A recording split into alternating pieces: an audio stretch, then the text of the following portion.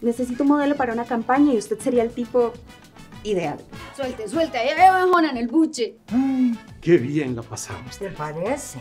Buenas noches, Roberto. Vos no puedes dejar que Arturo te robe la vuelta. Te voy a decir exactamente lo que tenés que hacer para conquistar a Antonella. ¿Quiere comer un helado conmigo? Claro, vamos. Todavía es muy temprano y no me he lavado los dientes. Ay, no te preocupes por esas cosas. Recuerde, su cita es con la pensión por su teletica.